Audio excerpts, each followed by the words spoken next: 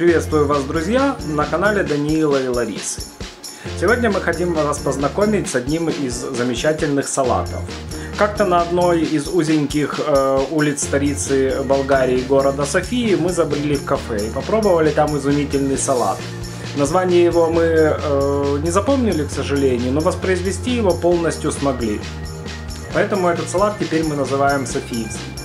Так для приготовления салата вам понадобится э, непосредственно салат айсберг, один помидор, один болгарский перец, тыквенные семечки, вяленая клюква, гранатовый соус на шарап сладкий, бальзамический уксус и оливковое масло. салата нам надо э, салат айсберг порвать небольшими кусочками и выложить на тарелку. Лариса нам сейчас покажет, как это сделать.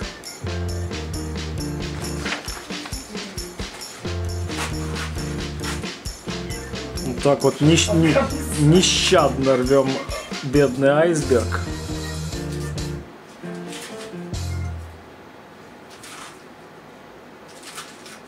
И крошим его на тарелку.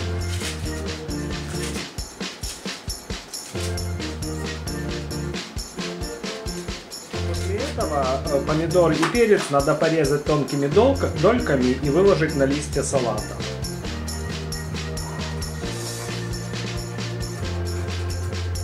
Естественно, вырезал плодоножки. Вот такими вот ломтиками режем половинку перца.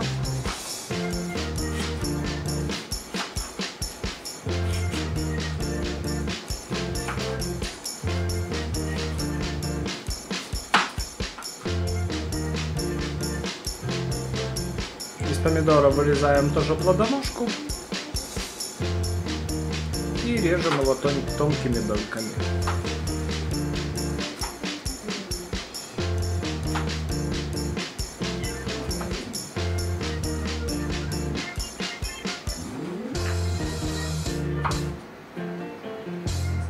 Теперь всю эту красоту выкладываем на тарелочку поверх листьев салата.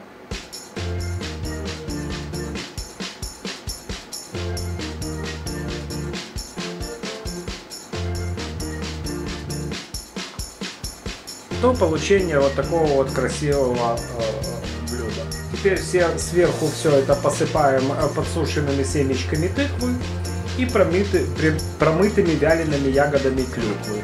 Семечки тыквы Лариса подсушила на сухой сковородочке. Сколько ты их сушила?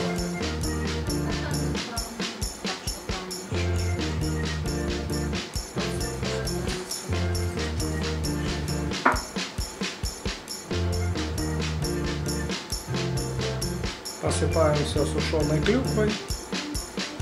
Вкус, друзья, поверьте, этого салата изумительный.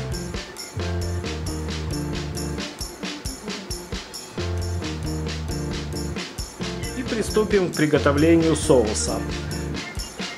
Э, гранатовый соус на шраб, бальзамический уксус и оливковое масло тщательно смешиваем. Лариса берет по столовой ложечке, как мы видим. Масла больше, 2 столовые ложечки.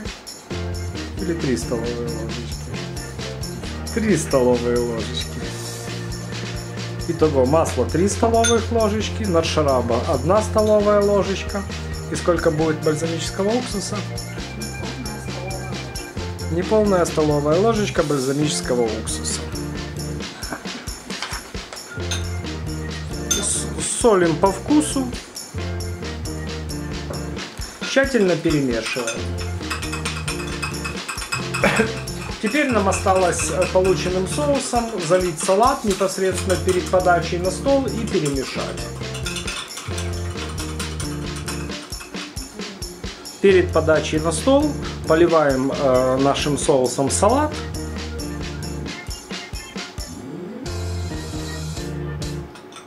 И тут есть два варианта. Можно его теперь перемешать, а можно и не перемешивать. Соус хорошо э, пропитает, э, он такой э, достаточно густой получается, маслянистый.